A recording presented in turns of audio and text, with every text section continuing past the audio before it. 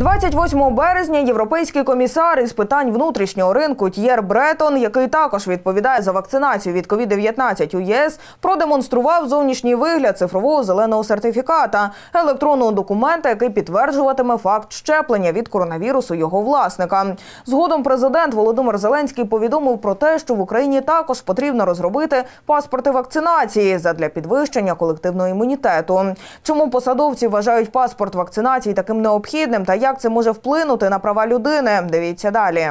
Питання про колективний імунітет від COVID-19 стоїть ще від початку пандемії. Карантинні заходи дали поштовх для використання нових діджитал-технологій. Фахівці стверджують, що запровадження імунних паспортів надасть людям більше можливостей під час карантину, відвідування спортзалів, кінотеатрів, масових заходів тощо. Отже, ковід-паспорти в Євросоюзі, Ізраїлі, США та інших країнах згодом можуть стати чи не єдиною вимогою для вільного пересування. Втім, люди поділились на два табори: з одного боку, вакцинація надає людині права на забезпечення охорони здоров'я, а з іншого вона надасть більше прав одним, але обмежить інших.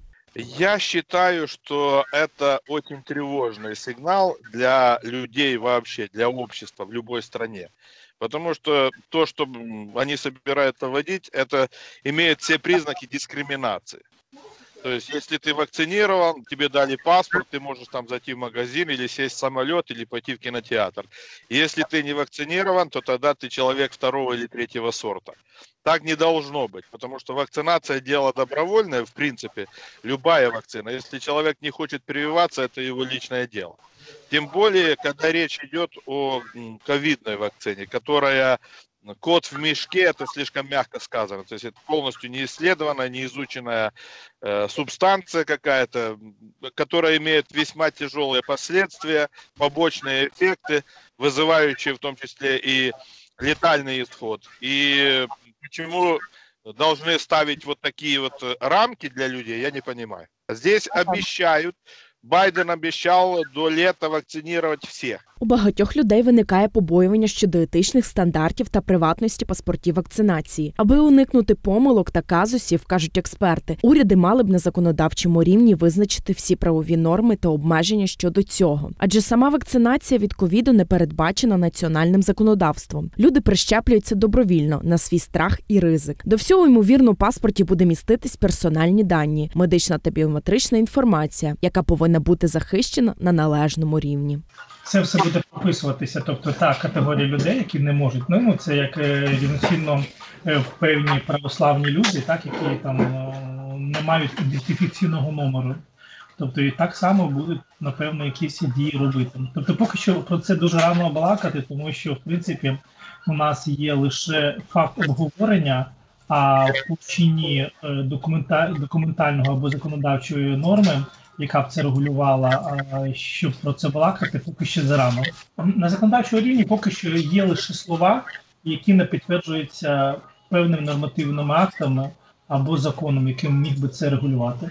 Тим часом Ізраїль починає виходити з третьої фази локдауну. Хоча захворюваність дуже висока, в країні активно триває вакцинація. Держава вже почала видавати зелені паспорти тим, хто отримав дві дози вакцини або сам перехворів та одужав. Люди, у кого є цей документ, вже отримали певні переваги, відкрили кафе та стадіони для глядачів. Також уряд послабив обмеження щодо подорожей. Люди, які вакциновані, вони мають більше переваги в в доступі до громадських місць. Вони можуть відвідувати без проблем всякі заклади громадського харчування, кінотеатри. І їм не потрібно здавати ніяких тестів постійно. Хочеш кудись попасти в якийсь заклад, відповідно створюються дві черги. Одні, які з паспортом проходять без проблем. Тобто навіть так само люди, які зараз хочуть полетіти в іншу країну. Тобто аеропорт Бенгоріон впускає на в сам термінал людей які мають е, зелений паспорт, або людей, які е, завчасно зробили тест ПЛР. Там, по-моєму, за 48 годин треба зробити тест ПЛР.